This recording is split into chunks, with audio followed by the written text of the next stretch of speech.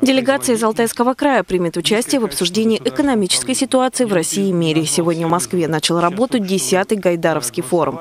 Это международная научно-практическая конференция в области экономики. В течение трех дней на ней будут рассматривать варианты развития страны, ее отдельных территорий и сфер, от здравоохранения и образования до инноваций и применения цифровых технологий.